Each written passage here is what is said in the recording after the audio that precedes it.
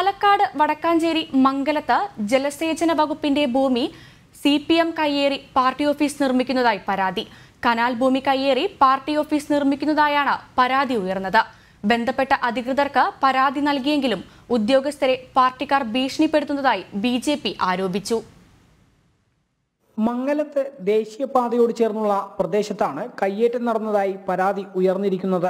മംഗലം ഡാമിൽ നിന്നും കൃഷി ആവശ്യത്തിന് വെള്ളം തുറക്കാറുള്ള കനാൽ ഭൂമിയാണ് കയ്യേറിയിരിക്കുന്നത്.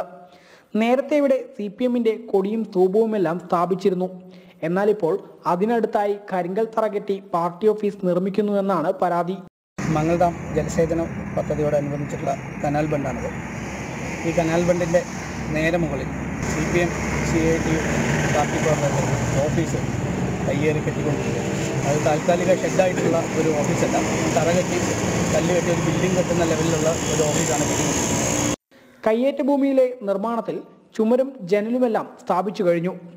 വിഷയത്തിൽ ചില പ്രദേശവാസികൾ തഹസിൽദാർക്ക് പരാതി കൊടുക്കുകയും തഹസിൽദാർ സ്റ്റോപ്പ് മെമ്മോ നൽകുകയും ചെയ്തിരുന്നു. എന്നാൽ രാഷ്ട്രീയ സ്വാധീനം ഉപയോഗിച്ച് ഉദ്യോഗസ്ഥരെ ഭീഷണിപ്പെടുത്തി നിർമ്മാണം ഇപ്പോഴും തുടരുകയാണെന്ന് ബി ആരോപിച്ചു. സ്റ്റോപ്പ് മെമ്മോ കൊടുക്കുകയും ചെയ്തു പക്ഷേ രാഷ്ട്രീയ പ്രേരണ മൂലം ആ സ്റ്റോപ്പ് മെമ്മോ നിർത്തിവെക്കുകയും വീണ്ടും പരാതി ഞങ്ങൾ കളക്ടർ തഹസിൽദാർ പോലീസ് സ്റ്റേഷൻ എന്നിവർക്ക് കൊടുക്കാൻ തീരുമാനിച്ചിട്ടുണ്ട്.